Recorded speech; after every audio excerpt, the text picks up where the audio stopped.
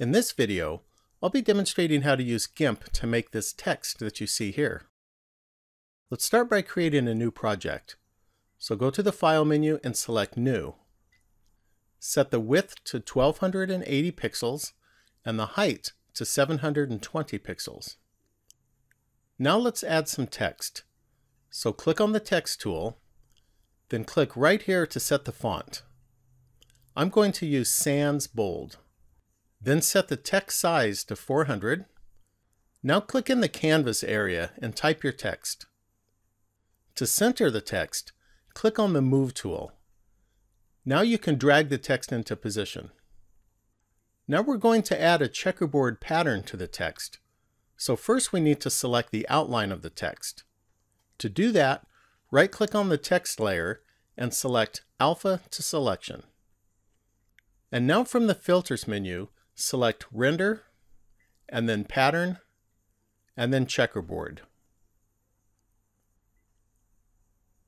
Set the checkerboard size to 25 pixels. Next, we're going to distort the checkerboard pattern. So from the Filters menu, select Distorts, and then iWarp.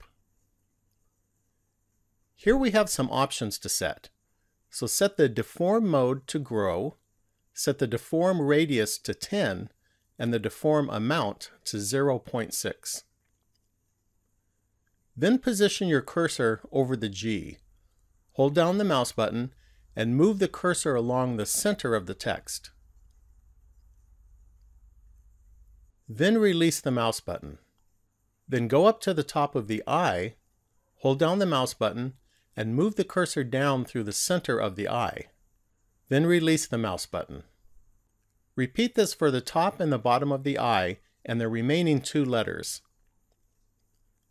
Since the deform mode is set to grow, we are making the checkerboard pattern in the center of the text larger than the edges of the text. This will give us some nice distortions. It will also help us to make the center of the text appear to be closer to us and thereby give the text some depth. When you're finished tracing the text, then click on the OK button. Now we're going to add more depth to the text by adding some shading around the edges of the text. So to do that, let's start by shrinking the selection area.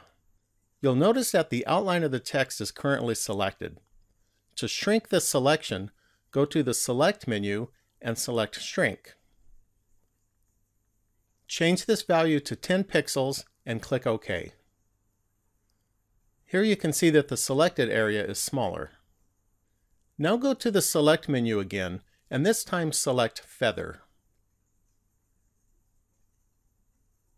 Change this value to 40 pixels and click OK. This will soften the edges of the selection. Now currently, our selected area is inside of this selection, what we actually want to do is to select the outside of this area. So go up to the Select menu and select Invert. The next thing that we are going to do is to add a new layer. So click on this button. Make sure Transparency is selected and click OK. Now click on the Bucket Fill tool. Make sure that the foreground color is set to black and then click in our selected area. Now we have our shading around the edges of the text, but the background was also filled in. So we need to remove this background color. To do that, right-click on the center layer that has our text and select Alpha to Selection. Now our original text is selected. We want to select the area outside of this text, so go to the Select menu and select Invert. Now click on the top layer to select it. This is the layer with the background. Then from the Edit menu, select Clear. We're done with the selection now, so go to the Select menu and select None. And now merge the top two layers by right-clicking on the top layer and select Merge Down. The next thing that we are going to do is to add a lighting effect to the text. This will give the checkerboard pattern some depth. So from the Filters menu, select Light and Shadow, and then Lighting Effects.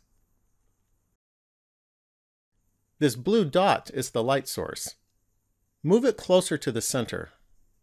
Then click on the Bump Map tab. Put a check mark next to Enable Bump Mapping. This drop-down menu lets us select the layer to use as the bump map image. These selections should match the layers that you see here on the right. Make sure that the layer with the text is the one that is chosen. Then click OK. Now let's add some color. So from the Colors menu, select Colorize. Set the hue to 31 and click OK. And now we're going to add a border around the text. So right-click on the top layer and select Alpha to Selection. And then grow the selection by going to the Select menu and select Grow. We're going to grow the selection by 5 pixels, so set this value to 5 and click OK. And now add a new layer by pressing this button. Make sure that transparency is selected and click OK. Now click on the Bucket Fill tool so that we can fill in the selected area. Make sure that the foreground color is set to black and then click inside the selected area. Then move this layer down below the text layer by clicking this green down arrow button. We're done with the selection now, so go to the Select menu and select None. And now merge the top two layers by right-clicking on the top layer and select Merge Down. We're done with the text, so let's work on the background now. So click on the bottom layer to select it. Then from the Filters menu, select Render and then clouds, and then plasma. Then click OK. Now from the Colors menu, select Desaturate. Then select Luminosity and click OK. Now we're going to add a light effect.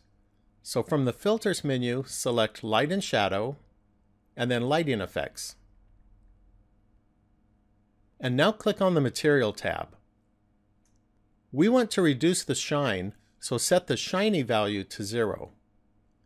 Now click on the Bump Map tab. Make sure that there is a check mark next to Enable Bump Mapping. Then use the drop-down menu and select the bottom layer. Now click OK. Next, let's add some color to the background. So from the Colors menu, select Colorize. Set the hue to 31 and the saturation to 27. Then click OK. Now let's adjust the brightness and the contrast. So from the Colors menu, select Brightness Contrast. Set the brightness to 74 and the contrast to 60. Then click OK. The last thing that we are going to do is to add a drop shadow to the text. So click on the top layer to select it. Then from the Filters menu, select Light and Shadow, and then Drop Shadow. Then click OK. And now we have our finished image. Well, that concludes this video. Thanks for watching, and please subscribe and leave a comment.